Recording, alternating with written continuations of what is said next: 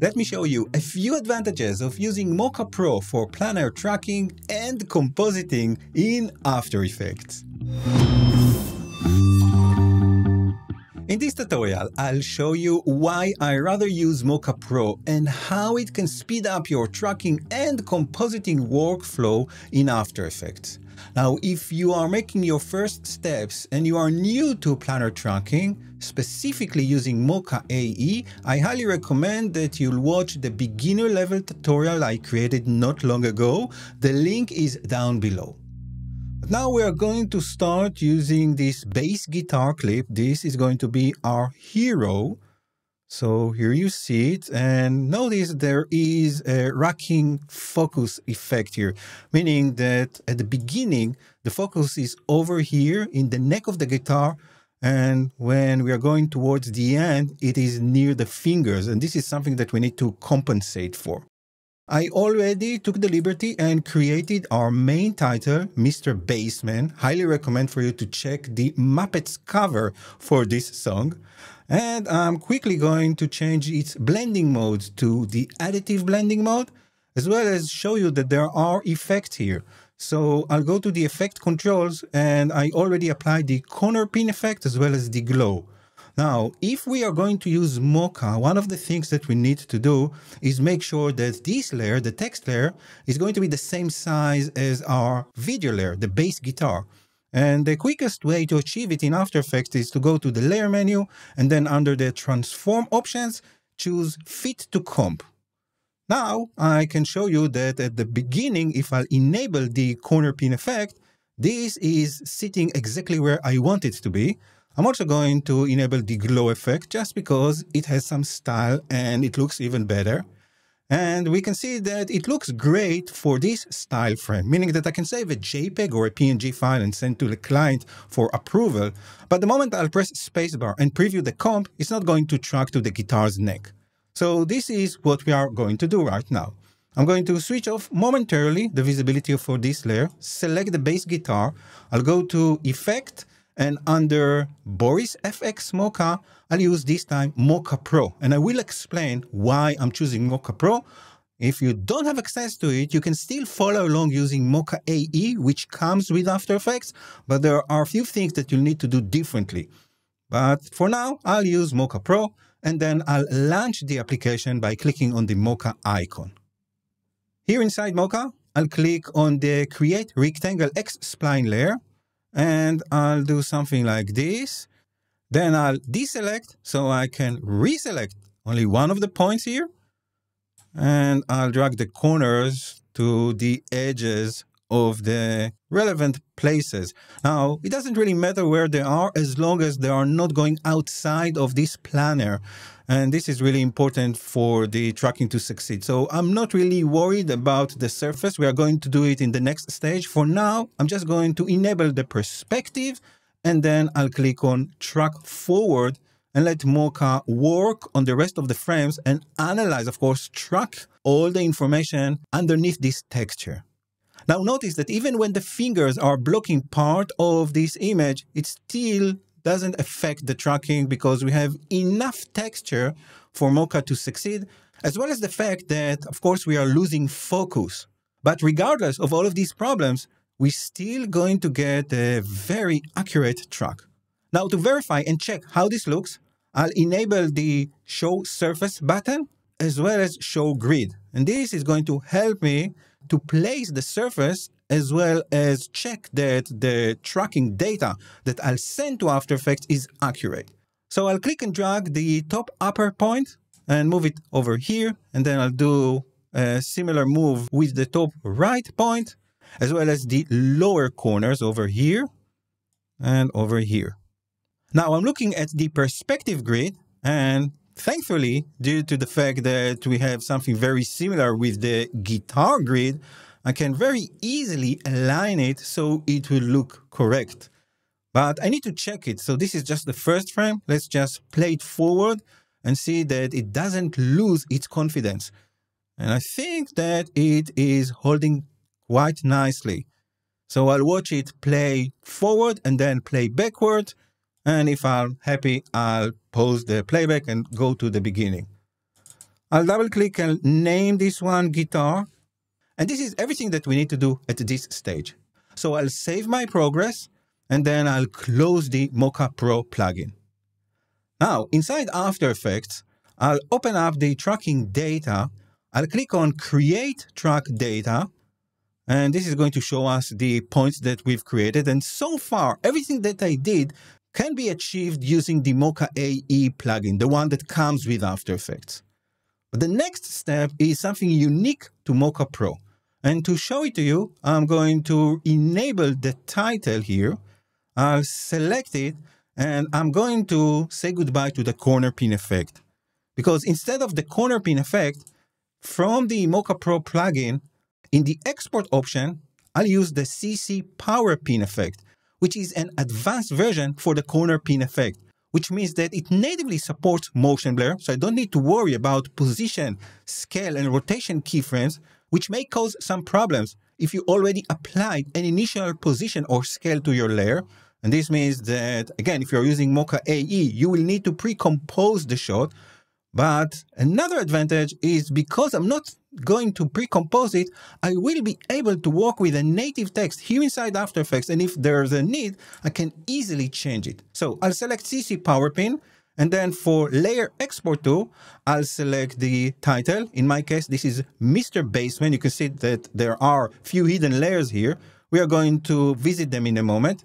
And that's it. I can now click on apply export and everything is going to work. So let's preview it. And again, you can enable motion blur for the text layer.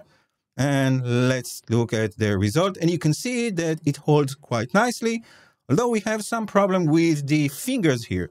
Now, if you're enjoying this tutorial, please tap on the like button. And if you dare, consider subscribing to the channel so you won't miss any new stuff that I post. Thank you so much. And now back to the tutorial. So there are a few ways we can remedy this. One way is to use Mocha again and rotoscope those fingers. I actually used it and rotoscope the fingers over here because I want to bring another title. So instead of rotoscoping, what I actually want to do is distort the title, actually move it, keeping the perspective.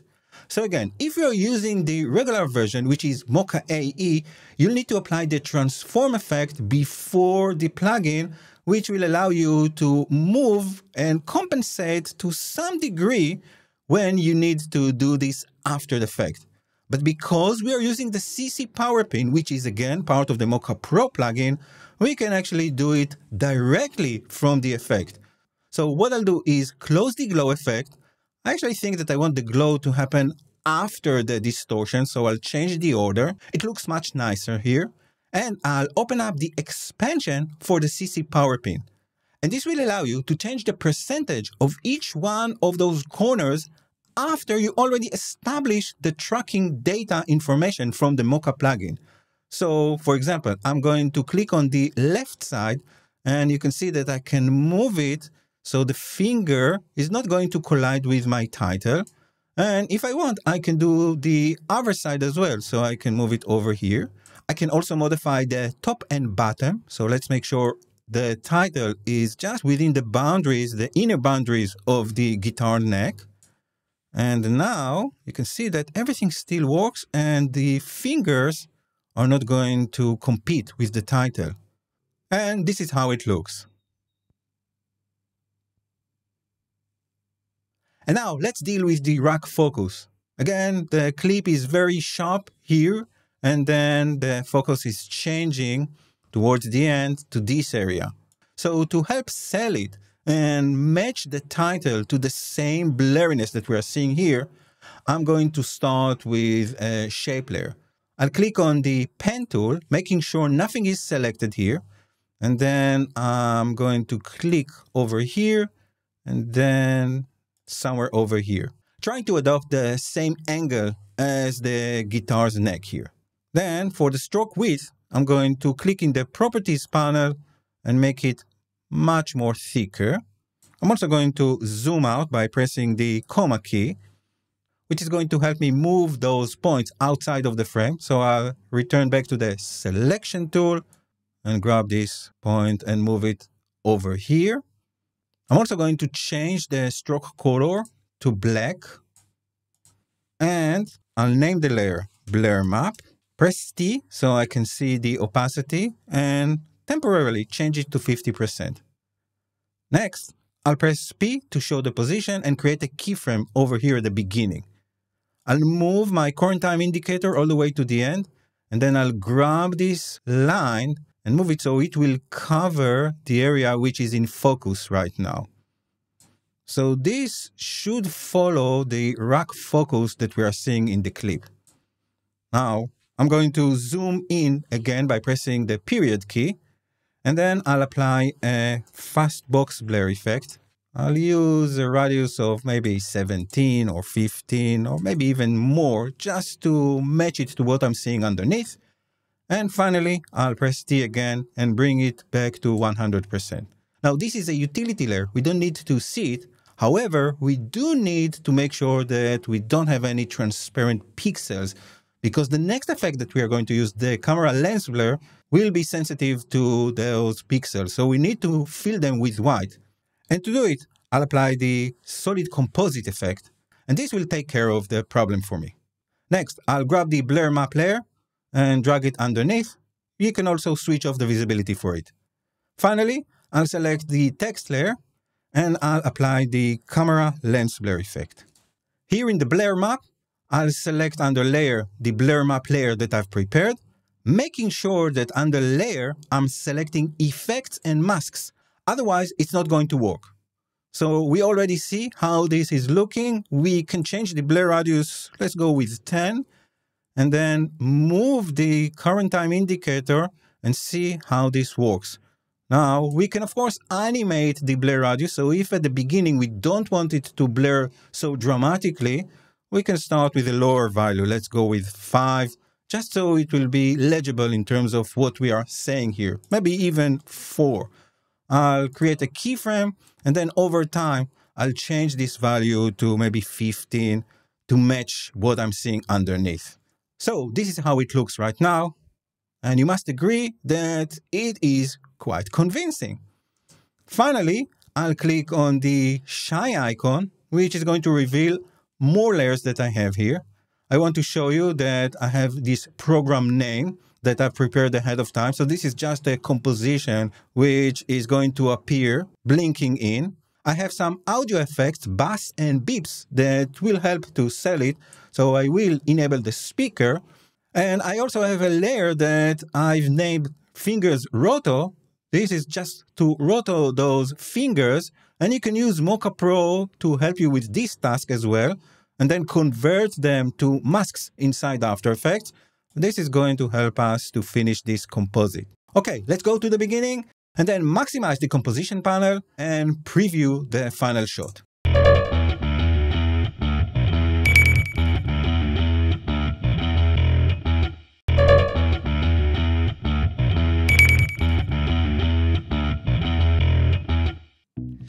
I hope this is something that you can use in your own work and if so, there's an affiliate link underneath the like button to get 50% off Mocha Pro. If you create something interesting with it, share it with me using my handle at SternFX so I can be proud of you as I'm already am. Thank you so much for watching and I will catch you again in the next one.